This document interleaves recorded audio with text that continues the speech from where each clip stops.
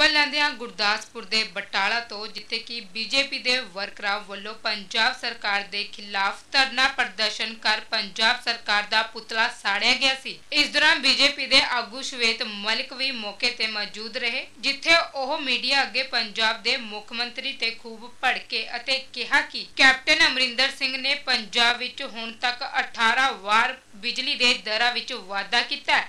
ਜਦੋਂ ਕਿ ਲੋਕਾਂ ਨੂੰ 5 ਰੁਪਏ ਪ੍ਰਤੀ ਯੂਨਿਟ ਦੇਣ ਦਾ ਵਾਅਦਾ ਕੀਤਾ ਗਿਆ ਸੀ। ਹੁਣ ਉਹ ਸਸਤੀ ਬਿਜਲੀ ਕਿੱਥੇ ਹੈ?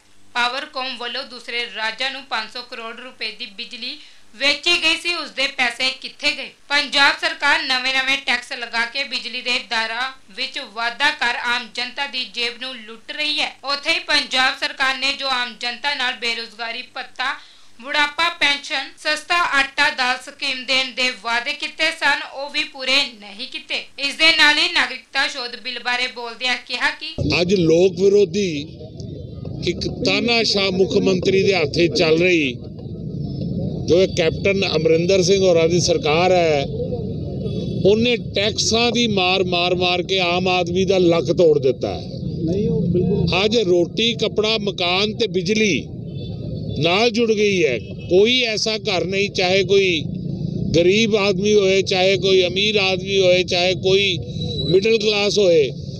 ਬਿਜਲੀ ਓਨੀ ਜ਼ਰੂਰੀ ਹੈ ਜਿੰਨੀ ਰੋਟੀ, ਕਪੜਾ ਤੇ ਮਕਾਨ ਹੈ।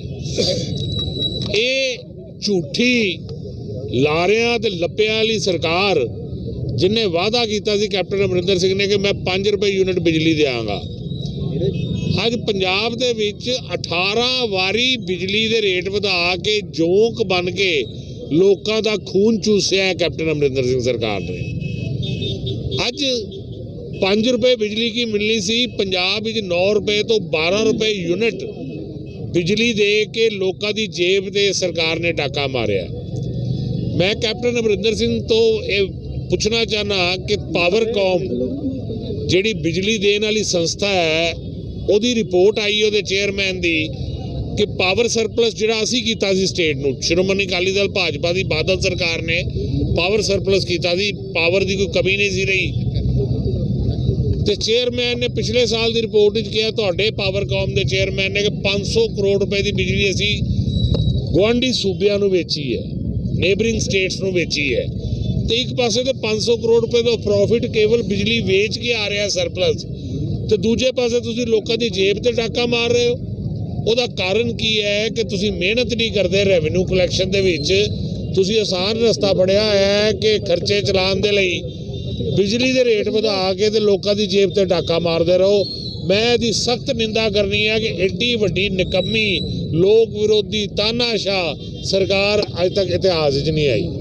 ਮੈਂ ਕੈਪਟਨ ਅਮਰਿੰਦਰ ਸਿੰਘ ਨੂੰ ਪੁੱਛਣਾ ਚਾਹਨਾ ਕੈਪਟਨ ਅਮਰਿੰਦਰ ਸਿੰਘ ਨੂੰ ਪੁੱਛਣਾ ਚਾਹਨਾ ਕਿ ਕੈਪਟਨ ਸਾਹਿਬ ਜਵਾਬ ਦਿਓ। ਅੱਜ ਯੂਥ ਮੰਗਦਾ ਮੇਰੀ ਨੌਕਰੀ ਕਿੱਥੇ ਹੈ ਕੈਪਟਨ? 2500 ਰੁਪਏ ਦਾ ਬੇਰੋਜ਼ਗਾਰੀ ਭੱਤਾ ਕਿੱਥੇ ਹੈ? ਕਿਸਾਨ ਕਹਿੰਦਾ, ਮੇਰਾ 90000 ਕਰੋੜ ਦਾ ਕਰਜ਼ਾ ਕਿਹੜਾ ਮਾਫ ਕੀਤਾ ਹੈ? ਅੱਜ 3 ਸਾਲ ਹੋ ਗਏ ਸਰਕਾਰ ਨੂੰ ਤੁਹਾਡੀ। ਅੱਜ ਬੁਢਾਪਾ ਪੈਨਸ਼ਨ, ਵਿਧਵਾ ਪੈਨਸ਼ਨ, ਸ਼ਗਨ ਸਕੀਮ ਬੰਦ ਆ ਸਾਰੇ। ਕੈਪਟਨ ਸਰਕਾਰ ਨੂੰ ਜਿਹੜਾ ਹੈ, ਉਹ ਕੋਸ ਰਹੇ ਨੇ ਬੈਠ ਕੇ। ਅੱਜ ਬੱਚੀਆਂ ਜਿਹੜੀਆਂ ਨੇ, ਉਹ ਕੋਸ ਰਹੀਆਂ ਕਿ ਹੁਣ ਇੱਕ ਸੈਕਿੰਡ ਉਹ ਬੱਚੀਆਂ just a minute let me complete let me complete let me complete I reply to you ਅੱਜ ਬੱਚੀਆਂ ਕਹਿੰਦੀਆਂ ਨੇ ਕਿ ਕੈਪਟਨ ਸਾਹਿਬ, ਸਾਡੀਆਂ ਸਾਈਕਲਾਂ ਵੀ ਰੋਕਤੀਆਂ, ਉਹ ਵੀ ਖਾ ਗਏ। ਅੱਜ ਬੱਚੀਆਂ ਕਹਿੰਦੀਆਂ ਜਿਹੜਾ 51000 ਰੁਪਏ ਸ਼ਗਨ ਦੇਣਾ ਸੀ, ਉਹ ਕਿੱਥੇ ਗਿਆ? ਅੱਜ ਬਜ਼ੁਰਗ ਕਹਿੰਦੇ ਨੇ ਜਿਹੜੀ ਧਾਰਮਿਕ ਯਾਤਰਾ ਦੀ ਟ੍ਰੇਨ ਸੀ, ਉਹ ਕਿਉਂ ਬੰਦ ਕਰਤੀ? ਅੱਜ ਆਮ ਆਦਮੀ ਕਹਿੰਦਾ ਹੈ ਕਿ ਆਟਾ ਦਾਲ ਸਕੀਮ ਤੁਸੀਂ ਕਿਹਾ ਸੀ, ਚਾਹ ਤੇ ਖੰਡ ਵੀ ਦੇਾਂਗੇ ਤੁਸੀਂ ਤੇ ਆਟਾ ਦਾਲ ਵੀ ਬੰਦ ਕਰ ਦਿੱਤਾ। ਅੱਜ ਰੋਂਦਾ ਹੈ ਪੰਜਾਬ ਕੈਪਟਨ ਦੀ ਸਰਕਾਰ ਤੇ ਇੱਕੋ ਹੀ ਨਾਰਾ ਸਾਰੇ ਲਾਉਂਦੇ ਨੇ ਕਿ ਕਾਂਗਰਸ ਭਜਾਓ ਕੈਪਟਨ ਭਜਾਓ ਤੇ ਪੰਜਾਬ ਬਚਾਓ। ਮਲਕ ਸਾਹਿਬ ਮਲਕ ਸਾਹਿਬ ਸੀਏਏ ਨੂੰ ਲੈ ਕੇ ਕੈਪਟਨ ਦਾ ਕਹਿਣਾ ਹੈ ਕਿ ਰਵਈਆ ਜਿਹੜਾ ਜਿੱਦੀ ਤੇ ਅੜੀ ਵਾਲਾ ਪਹਿਲੇ ਕੈਪਟਨ ਬਿਜਲੀ ਪਹਿਲੇ ਕੈਪਟਨ ਬਿਜਲੀ ਦੇ ਉੱਤੇ ਮੌਕਾ ਦੇਣ ਬਾਕੀ ਸੀਏ ਦੇ ਉੱਤੇ ਕੈਪਟਨ ਸਾਹਿਬ ਤੁਸੀਂ ਭਾਰਤ ਦੇ ਸੰਵਿਧਾਨ ਦੀ ਕਸਮ ਖਾਧੀ ਹੋਈ ਹੈ। ਕੈਪਟਨ ਸਾਹਿਬ ਨੇ ਜਦੋਂ ਕਸਮ ਖਾਧੀ ਸੀ ਮੁੱਖ ਮੰਤਰੀ ਬਣਨ ਵੇਲੇ ਕਿ ਮੈਂ ਭਾਰਤ ਦੀ ਸੰਵਿਧਾਨ ਦੀ ਪਾਲਣਾ ਕਰਾਂਗਾ, ਸੰਵਿਧਾਨ ਮੁਤਾਬਕ ਜਿਹੜਾ ਪਾਰਲੀਮੈਂਟ ਵਿੱਚ ਪਾਸ ਹੋਇਆ ਐਕਟ ਹੈ, ਉਹਨੂੰ ਕੈਪਟਨ ਮੁੱਖ ਮੰਤਰੀ ਰੋਕ ਹੀ ਨਹੀਂ ਸਕਦਾ। ਜਾਂ ਤਾਂ ਕਸਮ ਤੋੜੋਗੇ ਜਾਂ ਮੁੱਖ ਮੰਤਰੀ ਪਦ ਛੱਡੋਗੇ। ਅੱਜ ਮੈਂ ਮਨਪ੍ਰੀਤ ਸਿੰਘ ਬਾਦਲ ਨੂੰ ਪੁੱਛਣਾ ਚਾਹਨਾ ਵਾਂ ਕਿ ਤੁਸੀਂ ਪ੍ਰੈਸ ਤੋਂ ਕਿਉਂ ਦੌੜਦੇ ਹੋ? ਮਨਪ੍ਰੀਤ ਸਿੰਘ ਬਾਦਲ ਇੱਕ ਭਗੌੜਾ ਫਾਈਨੈਂਸ ਮਿਨਿਸਟਰ ਜਿਹੜਾ ਪ੍ਰੈਸ ਤੋਂ ਡਰਦਾ ਹੈ। ਮੈਂ ਪ੍ਰੈਸ ਦੇ ਬੰਦੂਆਂ ਤੋਂ ਪੁੱਛਣਾ ਕਿ ਮਨਪ੍ਰੀਤ ਸਿੰਘ ਬਾਦਲ ਤੋਂ ਮੇਰੇ ਮਾਧਿਅਮ ਨਾਲ ਕੁਐਸਚਨ ਕਰੋ। ਤੁਹਾਨੂੰ ਜਵਾਬ ਕਿਉਂ ਨਹੀਂ ਦਿੰਦਾ ਮਨਪ੍ਰੀਤ ਬਾਦਲ? ਜਿਹੜਾ ਕਹਿੰਦਾ ਸੀ ਰੈਵਨਿਊ ਜਿਹੜਾ ਮੈਂ ਵਧਾਵਾਂਗਾ। ਮੈਂ ਮੈਂ ਪੰਜਾਬ ਨੂੰ ਖੜਾ ਕਰਾਂਗਾ। ਮੈਂ ਰੈਵਨਿਊ ਵਧਾਵਾਂਗਾ। ਮੈਂ ਰੇਤ ਮਾਫੀਆ ਖਤਮ ਕਰਾਂਗਾ। ਅੱਜ ਪੰਜਾਬ ਵਿੱਚ ਆਤੰਕਵਾਦ ਜੜਾ ਫੈਲਾ ਰਿਹਾ ਹੈ। ਅੱਜ ਡਾਕੇ ਵੱਜ ਰਹੇ ਨੇ ਚੋਰੀਆਂ ਹੋ ਰਹੀਆਂ। ਇਹ ਤੇ ਕੈਪਟਨ ਸਾਹਿਬ ਇਸ ਤਰ੍ਹਾਂ ਆਏ ਨੇ ਕਿ ਪੰਜਾਬ ਦੇ ਭੁੱਖ ਦੇ ਉੱਤੇ ਤਾਲਾ ਬਣ ਕੇ ਕੈਪਟਨ ਅਮਰਿੰਦਰ ਸਿੰਘ ਲੱਗ ਗਏ ਨੇ ਔਰ ਇਹ ਤਾਲਾ ਜਨਤਾ 2022 ਚ ਵੋਟ ਦੀ ਤਾਕਤ ਨਾਲ ਖੋਲੇਗੀ ਔਰ ਪੰਜਾਬ ਨੂੰ ਇਸ ਕੈਪਟਨ ਤੋਂ ਬਚਾਏਗੀ। ਮਲਕ ਸਾਹਿਬ ਭਾਰਤ ਬੰਦ ਕੱਲ ਕੀਤਾ ਗਿਆ ਜੀ ਭਾਜਪਾ ਦੀ ਨੀਤੀਆਂ ਨੂੰ ਲੈ ਕੇ ਨਹੀਂ ਉਹ ਇੱਕ ਰਾਜਨੀਤੀ ਨਾਲ ਪ੍ਰੇਰਿਤ ਭਾਰਤ ਬੰਦ ਸੀਗਾ। ਮੈਂ ਅੱਜ ਕਹਿਣਾ ਵਾ ਕਿ ਜੋ ਨਨਕਾਣਾ ਸਾਹਿਬ ਗੁਰਦੁਆਰਾ ਸਾਹਿਬ ਦੇ ਵਿੱਚ ਜੋ ਅੱਜ ਅਪਮਾਨ ਕੀਤਾ ਗਿਆ, ਉਹਦਾ ਨਾਂ ਬਦਲਣ ਦੀ ਧਮਕੀ ਦਿੱਤੀ ਗਈ ਹੈ, ਮੁਸਲਿਮ ਨਾਂ ਰੱਖਣ ਦਾ ਦਿੱਤਾ, ਉੱਥੋਂ ਦੀ ਇੱਕ ਬੱਚੀ ਜਿਹੜੀ ਹੈ, ਉਹਦਾ ਧਰਮ ਪਰਿਵਰਤਨ ਕੀਤਾ ਗਿਆ ਹੈ, ਉਹਦੇ ਤੇ ਕਾਂਗਰਸ ਕਿਉਂ ਚੁੱਪ ਹੈ?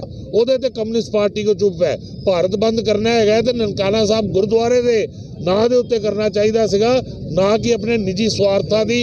ਇੱਕ ਕਾਂਗਰਸ ਤੇ ਦੂਜੀਆਂ ਵਿਰੋਧੀਆਂ ਪਾਰਟੀਆਂ ਜਿਸ ਵੇਲੇ ਹਾਰ ਦੀ ਸਥਿਤੀ ਜਾ ਜਾਂਦੀਆਂ ਤਾਂ ਧਰਮ ਤੇ ਜਾਤੀ ਦੇ ਆਧਾਰ ਤੇ ਦੇਸ਼ ਨੂੰ ਵੜਦੀਆਂ ਨੇ, ਲੋਕਾਂ ਦੀ ਖੂਨ ਦੀ ਹੋਲੀ ਖੇਡਦੀਆਂ ਨੇ ਤੇ ਆਪਣੇ ਰਾਜਸੀ ਜਿਹੜੇ ਮੰਤਵ ਨੇ ਪੂਰੇ ਕਰ ਦੇਸ਼ ਵਿਦੇਸ਼ ਵਿੱਚ ਪ੍ਰਸਿੱਧ ਪੰਡਿਤ ਹਰੀਸ਼ ਕੁਮਾਰ ਜੀ ਨੂੰ ਬਿਨਾਂ ਦੱਸੇ ਆਪਣੇ ਦਿਲ ਦੀ ਗੱਲ ਜਾਣ। ਕੀਤਾ ਕਰਾਇਆ ਜਾਦੂ ਟੋਣਾ ਗ੍ਰਹਿ ਕਲੇਸ਼, ਕਾਰੋਬਾਰ ਅਤੇ ਵਿਦੇਸ਼ ਸੰਬੰਧੀ ਆਪਣੀ ਹਰ ਸਮੱਸਿਆ ਬਾਰੇ ਤੁਸੀਂ ਪੰਡਿਤ ਜੀ ਨੂੰ ਬਿਨਾਂ ਦੱਸੇ ਜਾਣ ਸਕਦੇ ਹੋ। ਪੰਡਿਤ ਹਰੀਸ਼ ਕੁਮਾਰ ਜੀ ਨੂੰ ਬਿਨਾਂ ਦੱਸੇ ਆਪਣੇ ਦਿਲ ਦੀ ਗੱਲ ਜਾਣੋ। ਪੰਡਿਤ ਹਰੀਸ਼ ਕੁਮਾਰ ਜੀ ਨੂੰ ਬਿਨਾਂ ਦੱਸੇ ਆਪਣੇ ਦਿਲ ਦੀ ਗੱਲ ਜਾਣੋ।